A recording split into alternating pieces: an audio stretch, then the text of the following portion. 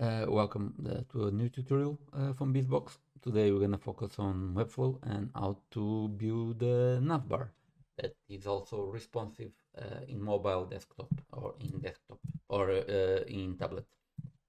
So the way to build a navbar it's straightforward here in Webflow. If you press here the, the plus uh, button, you have this is a page that I'm working on. This is the, the, the copy that I can make you the, the navbar. So here you have a navbar and you, you press it and you can put it right away. Actually, you can normally I do like this and here you go. You have the navbar. And if you see it already, this is the different type of displays. So this is for desktop. These are for bigger des desktop. I'm not going to focus on that and here you already go that it's already uh, resized to show up differently in mobile and desktop. Uh, that is comes straight away. You don't really need to do nothing. It just comes like that.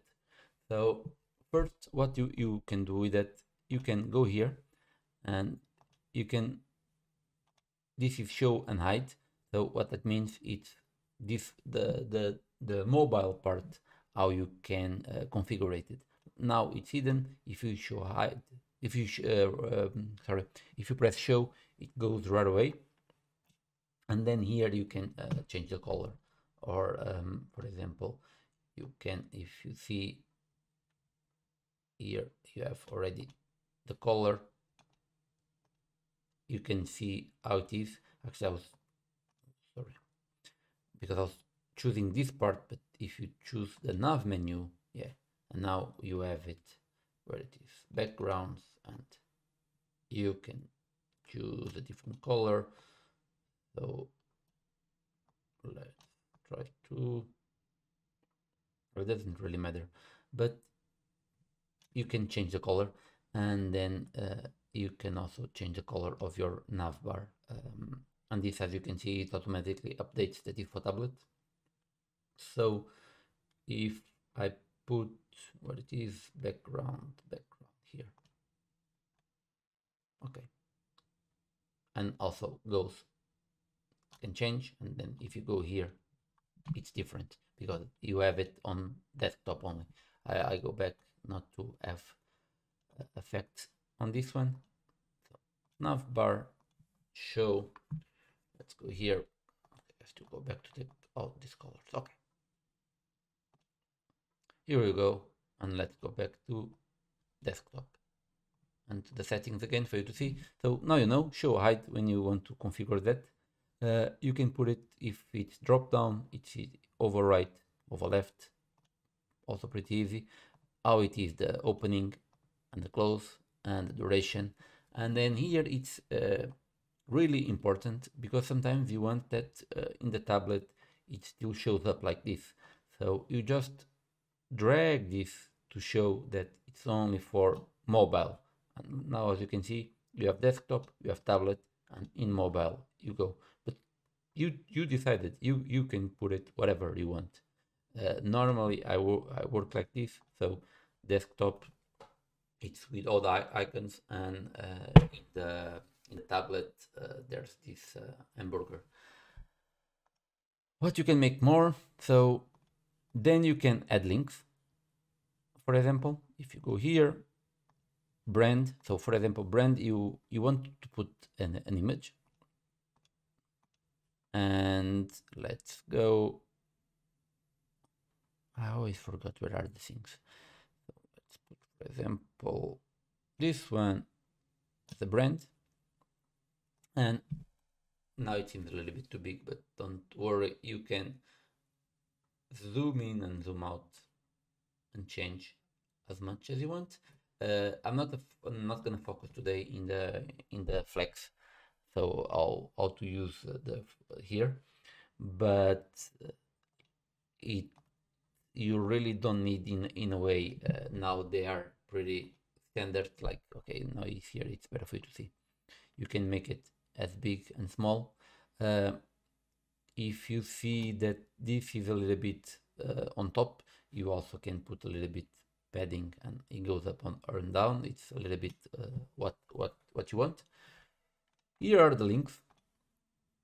So you can basically make Control C and Control V and it creates an, uh, another link and you can uh, maybe I explain this after um, but if you press here okay then you can go so where, where it goes. You go for a different page home for example this one.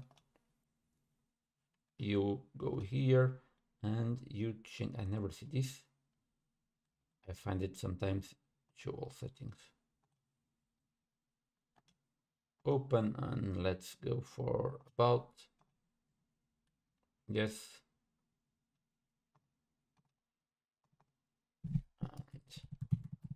about okay and what more pages? I can put these articles. So articles you go and then you just also add the link and articles. Um, and then of course you can that is you might know that. So if you are having here this selected the navbar you can change the the color of all, all the navbar let's just change it and as you also might know if you changing here or is the star it means that you are changing all over the um, the the the sizes of the of, of the breakpoints so in all of them.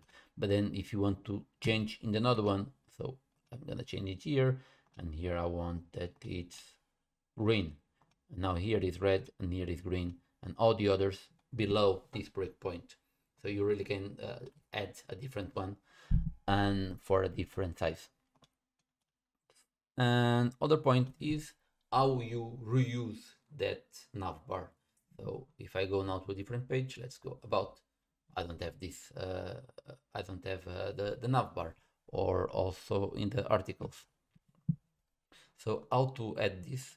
First you can go here to the to the home page where you have it. Press navbar and then you hear it is create component. So you create component and you write the name navbar you can write whatever you want. And here it is. And now it's if you want to add it to an uh, other page you go to the let's go to the about page go to the components navbar for some reason it goes down. Normally i do like this it's i understand it better. Okay. And now you have it in the home and also in the about. Uh, one thing that i need to now change color because now it's the component. So if you change the component here and this is the text that you need to change if you want to change the text. I was having um, some problems to understand that part because what i was doing it was changing this and let's see if it let's see uh, one. Write here one. And if i go now to the home okay it's also one. Yes. Okay what about here? And if i put about if i go to the other one it's also about yeah. But the best way also is to change uh, the name here. So you can change about and also it changes on the home page um, what I was going to say it's show settings edit component link connect to, uh, to uh, property. It's a page you can connect connect it to many things. What is the page opens in new tab or uh, in, in this tab? And yeah so basically that's it. Um, don't mind about the, um, the color. But that's it and you have it already uh, completely formatted to be looking good in websites in in mobile desktop or tablet.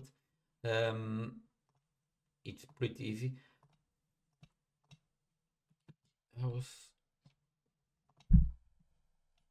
going to add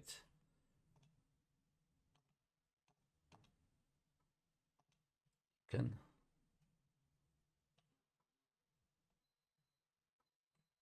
how to change the icon. Its typography